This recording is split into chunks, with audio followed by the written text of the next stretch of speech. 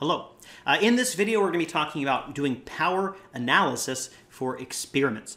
Uh, now, we're talking about experiments here. We're talking about randomized control experiments. And one of the things about experiments is that you have some control over how big your sample is. Uh, this is unlike in observational studies that we've been spending most of our time working on, where you know it might be good to know uh, what the statistical power of your of your analysis is going to be, and you probably should try to figure it out before you do your analysis. But there's only so much it can tell. All it can really tell you to do is go ahead or walk away. Uh, in experiments, you can use your power analysis to try to figure out how big your sample size should be, or whether an experiment is worth doing at all, of course. Uh, which means it's a lot more vital that you have to do a power analysis before you do any sort of experiment, because otherwise you're going to end up making some really terrible and really expensive mistakes. So, what is a power analysis? So first of all, we know that we are talking about statistical power, and in more more generally, precision precision of your estimate. We know that, sample, that, that, that estimates have a sampling variation, right? If you do the same analysis on the same group, on the same population, uh, over and over and over again with different samples, you're going to get different answers every single time. Sometimes you're going to get answers that are higher than other times. Sometimes you're going to get answers that are lower than other times. On average, you're going to get the population estimate if you're doing a good analysis. But there's going to be variation from time to time. So the question is, uh, given that we have this sampling variation, uh, how much sampling variation can we handle? Uh, so if we are doing an experiment and we want to have a good chance of finding an effect if it's there, that's what we're interested in. Let's say that we are pretty certain that there is an effect there. How many observations do we need to collect to have a good chance of finding it? Because we know if we don't collect enough, even if the effect is truly there, we might not see it right? Even for something that's really, really obvious, like let's say, oh, does a does a parachute help you if you fall out of a plane, right? What's the effect of wearing a parachute on your survival from a plane fall? Okay, now we could gather two observations and then just look at them, but uh, maybe it just so happens that we pulled a person who had a parachute and died anyway, and also a person who didn't have a parachute but miraculously survived, right? Small samples, weird things can happen we're pretty certain that that parachute helps you, but our sample was so small that we just so happened to get a weird result. So that's the question.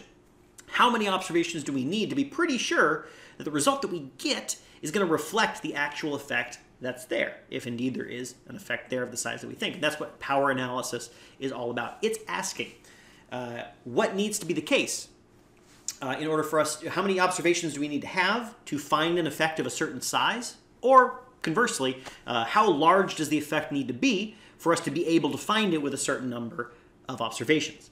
Okay, so that's what power analysis is.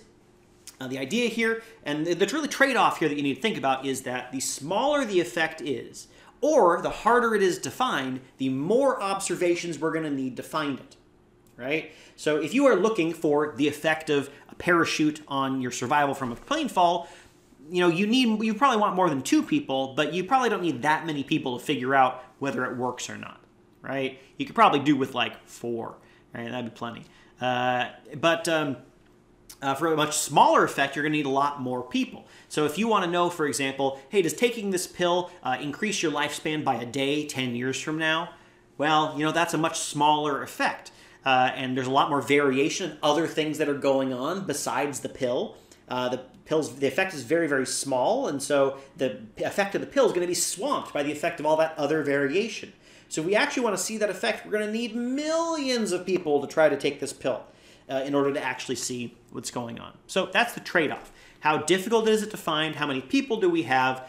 Uh, and uh, how, how big is the effect itself? And then we can offset that against how sure do we want to be? Do we want to have an 80% chance of finding out that the pill works? Uh, if it does work, do we want to have a 90% chance? And then that's going to also affect how many people we're going to need to, to do it. So the things you're going to want to think about when you're doing a power analysis are this. What's the size of the effect that we expect there to be? And we need to theorize about this ahead of time uh, because we, we have to make a guess. We have to make some sort of assumption about how big we think this effect might be. Uh, the sample size, that's the second one. How much variation is there going to be in the treatment? If we see the treatment moving around a lot, uh, then we're going to you know, be able to see it a lot more easily than if we only apply the treatment to a couple of people and most people don't get it. Right? If we're doing our skydiving experiment, uh, but you know the ethics people have refused to let us push people out of planes without parachutes, uh, you know, we would not have a lot of variation in treatment because we would be giving everybody a parachute anyway. We would not be able to find the effect very easily. So those are three things. We also need to think about how much uh, statistical power we want. What, what do we want the probability to be that we will find a statistically significant effect if indeed it is as large as our effect that we've assumed it to be. And then, of course, the sample size. So there's five things to consider with power analysis. And the way that it works is that you assume four of them, and then you see what the fifth can be. So you can say things like, okay, for if the effect is actually this large, and there's actually this much variation in treatment, and there's actually this much other stuff going on, how much other noise is there, uh, and um, and this is how much statistical power we want, how many observations do we need to make that a case? That would be called the minimum sample size necessary to find your effect, or have a good chance of finding your effect. We can go with other directions too. Uh, another common one is the minimum detectable effect. So for a given sample size and a given amount of variation in treatment and a given amount of other variation and a given statistical power, how big does the effect need to be for us to find it? If we have 200 people to randomize to do something, right? We're not going to have enough people to figure out what's the effect of that pill that raises your life by a, a, a, a day in a couple years. Uh, we're going to have more people than we need to figure out the effect of parachutes. But what what is the smallest effect that we could find, right? Is that is 200 enough people to find the effect of saving an additional 1% on your retirement? Uh, is that going to be enough to find out the effect of drinking an extra glass of wine a day, right? How big does the effect need to be for us to be able to identify it?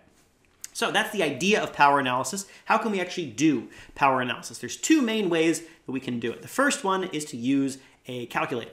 Uh, there are a lot of calculators out there that will do a power analysis for you as long as the power analysis that you're doing is a fairly standard one. So if you're just saying, hey, I have two groups, I'm going to randomize the groups, uh, and then I assume that here's the effect, I assume here's how much noise there is, uh, how much how many people do I need? Right? If it's as simple as that, then you can use something like powerandsamplesize.com or the G Power, uh, that's G Star Power software, and these can both do power analyses for you. Um, so for example, uh, let's say that I want to have, uh, I want to see if an effect uh, that is 1 60th of a standard deviation of the variation. So how much of the effect is there? It's 1 60th of a standard deviation. Uh, so that 59 60ths of the variation in the outcome is just noise that's unrelated to the effect. So this is a tiny effect. Um, and I'm going to evenly randomize people, so that's going to tell me how much variation in treatment there is. Uh, and I want to have an 80% chance to find the effect. Well, I've settled everything. How many people do I need? I need 56,397 people to find that effect of 160th of a standard deviation. That's a lot. Uh, and so that's that, and that's probably even a bigger effect than, let's say, the pill that makes you live an extra day in 10 years would be. So we need a lot of people to figure out that study. So we can use a calculator as long as we're doing something standard. Another way that I like to do it is with simulation. So with the way power analysis works with simulation is you try to, and, and this is good because it, it lets you mimic however you think your treatment's going to work. So if it's more complex than just, hey, I randomized two groups, if it is instead something like, hey, I randomized this block of people against this block of people against this block of people, uh, or something more complex like that, uh, what simulation allows you to do is it says, I, I'm going to assume that I have an idea of how this data is generated and how I'm assigning treatment. So I'm going to randomly generate some data with those properties. I'm going to do my analysis. I'm going to see if it's significant or not. And then I'm going to redo the analysis and generate the data over and over and over and over and over again. And I'm going to see how, what percentage of them are significant. And then I can uh, see, okay, well, uh, I let's say I had 80% of them were significant. I have 80% power. Well, at what sample size did I did I use in my simulation? Because you can choose what the sample size is as you randomly generate the data. How many random observations are you going to generate? Uh, and you can also choose what the effect size is, right? What effect did you plug into the data when you generated it? You have to you have to choose how the effect size, right? You are in effect when you create the data, you're going to say, hey, here's the treatment. I'm going to assume that getting the treatment increases your outcome by this amount. Uh, and so you randomly generate the data with the properties that you want, with the, with uh, all those properties that you wanted. Uh, you see whether it's significant or not, and then you do it over and over again, and then you fiddle with things like the effect size and the sample size to figure out how much sample size you need and how much effect size you can handle. I'm not going to go through the technical details of how to do this because it's a bit more than you can really handle. It doesn't, it doesn't lend itself to a video format, but I will post a link in the description uh, to a uh, way that I've walked through how to do this power analysis by simulation. All right, that's the basic idea of power analysis. Uh, we want to know, basically, given how noisy the world is, how, given how big our effect is, given how much treatment variation there is, given what we want our statistical power to be, our chance of finding an effect if it's true, And our sample size, well, if we know four of those things, we can figure out what the fifth one can be. And through that, we can figure out how big we need our experiment to be. Is it too big to feasibly fund, for example? Uh, or if we have a fixed size for our experiment, how big does that effect need to be for us to find it?